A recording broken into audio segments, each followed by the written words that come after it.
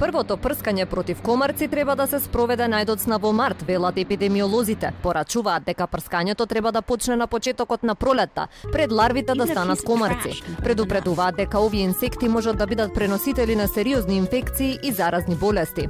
Тоа се денгата, жолтата треска, понатаму чикунгунијата и некои други заболувања кои што се пренесуваат со вируси, нели, кои што се болести главно во тропските региони, до сега не сме ги имале, меѓутоа ништо чудно да ги има. Авионите не бучат како предходните, затоа граѓаните мислат дека не се прска против комарци.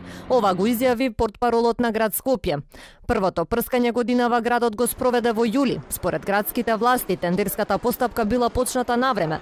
Задоцнетото прскање било поради тоа што испитувале дали средството со кое се прска е штетно за здравјето на граѓаните. Градските власти упорно тврдат дека прскањето против комарци се одвива според предвидената динамика. Првите две фази се веќе завршени, третата фаза ќе се реализира во текот на викендов, додека пак четвртото и петото прскање против комарци ќе се спроведе кон крајот на август и во текот на септември, велат од град Скопје. Граѓаните пак се жалат, секое утро се будат со убоди. Велат не паметат кога последен пат имало ваква инвазија на комарци во главниот град. Да, дека на пример не брмчале авионите, значи се прска кога нели ларвите се создаваат во грмушките, а не, например, после сезоната Петреше лего закасни со таа работа. Неколку пати треба да се прска. А дали е и прскано? Сега да не кажувам на нозете каква сум вчера. Стануваш, се лепат на тебе. Напролет се прска.